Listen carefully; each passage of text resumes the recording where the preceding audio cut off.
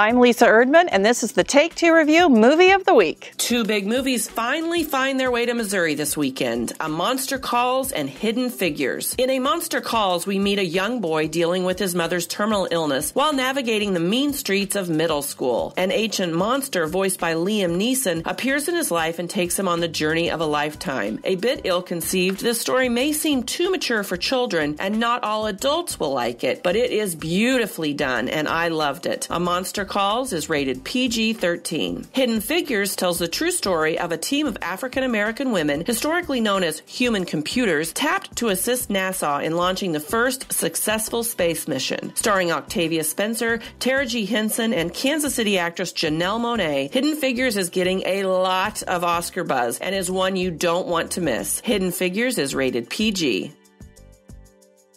For more movie news, be sure and follow me on social media at Take Two Review.